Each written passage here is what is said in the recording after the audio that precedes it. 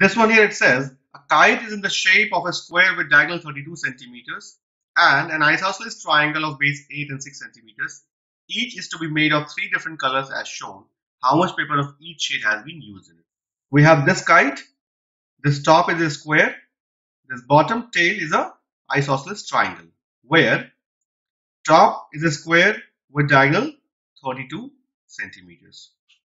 This isosceles triangle has a base of 8 and sides of 6. Now, this is a square. Let's take it as A, B, C and D where AC and BD they are the diagonals and right here since ABCD is a square we know that diagonals of a square they bisect each other at 90 degrees angle all right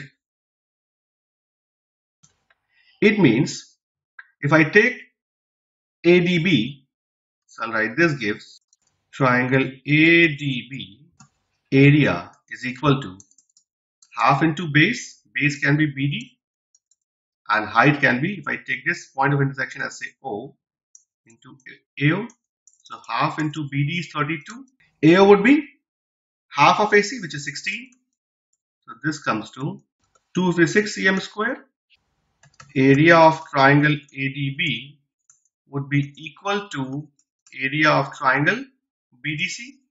So this shade will have 256 cm square and this shade will also have 256 so this will be 256 cm square equals to area of BDC.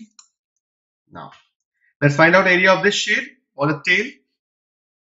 This is an isosceles triangle so area of, let's take this as P and Q.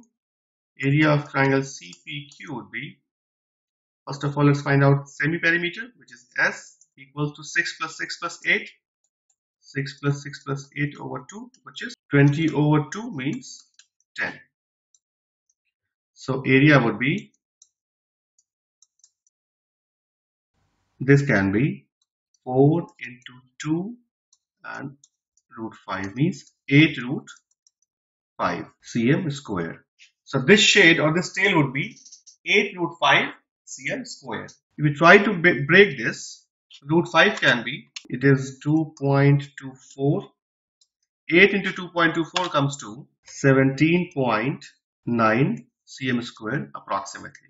So you can write it as 8 root 5 cm square or you can break it to 17.9 cm square, same thing. So this shade, this shade and the third shade all